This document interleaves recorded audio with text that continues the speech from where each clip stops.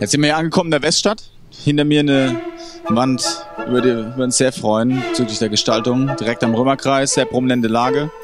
Wird zu dem diesjährigen Metropoling Festival von Weser gestaltet. Daniel Figuera, Peruaner, der in Berlin lebt, sehr illustrativ arbeitet und da freuen wir uns ganz besonders drauf.